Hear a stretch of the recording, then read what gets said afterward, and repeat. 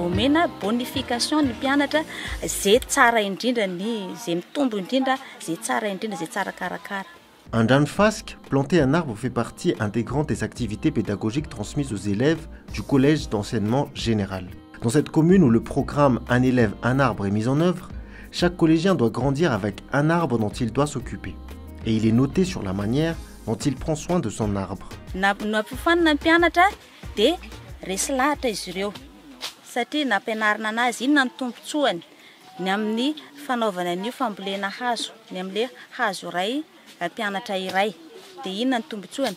Ary ny eto amin'ny segendrano fasika anisan'ny motivena mihitsy ny ankizy a amin'ilay fambolekazo dia asianay noty mihitsy ny anay zany a ny ankizy a zay mamboly azo dia refesinay mihitsy le izy. Dia ny tombo firy centimetre ny anao. De omena bonification ny mpianatra zay tsara indrindra ny zay mitombo indrindra zay tsara indrindra zay tsara karakara. Mais avant de s'occuper d'un arbre, les élèves apprennent aussi les bases du reboisement.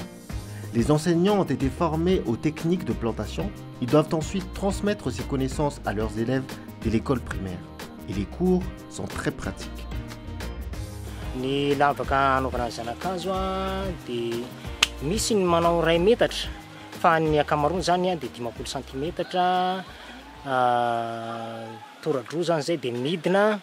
dimampolo centimetatra ihany koa. De avahana tsara araka ny nampianarinandreo a avahana ny tany. Ny tany voalohany atao amin'ny ilany de ny tany faharoa atao amin'ny ilany.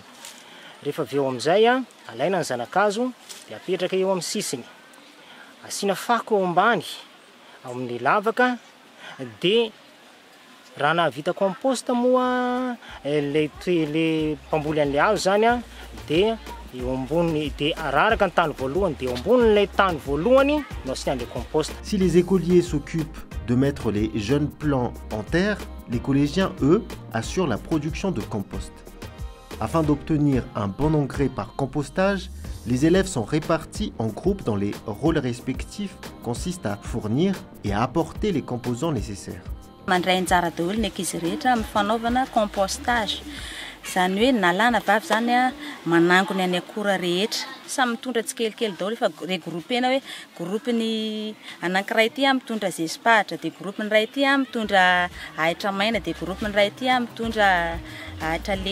D'autres s'occupent aussi des graines qui vont se développer dans les pépinières.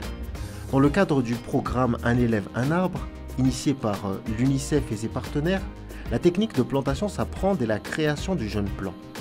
Les actions sont menées dans le but de conscientiser d'abord les élèves des écoles publiques aux défis environnementaux et de leur instaurer des réflexes écologiques. Pour Anjan Fask, l'idée des initiateurs est surtout aussi d'apporter des réponses aux menaces qui tendent à dégrader de façon irréversible le parc national d'Angarafanska voisin. Dans les districts d'Ambatbouin et de Marvoy, 42 établissements scolaires publics sont concernés par le programme. Initialement de portée régionale, celui-ci ambitionne d'être dupliqué au niveau des autres établissements scolaires, aussi bien publics que privés, dans tout Madagascar. À travers ses élèves, il entend aussi cibler leurs parents.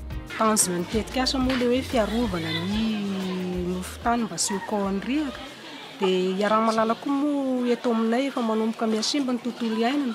Miainga avy any mpianatra satria ireo mpianatra reo zany no afaka mampita ny afatra tiana ho ampitaina any amin'ny ray aman-dreny. Satria ny ray aman-dreny no tena tomponantroko amin'ny sy fahaizana amin'la mikolokolo an'la tontolo iainana zany misy la ray aman-dreny sy mahafantatra zany amin'le hoe vokadrasy ateraky ny fanombanany ala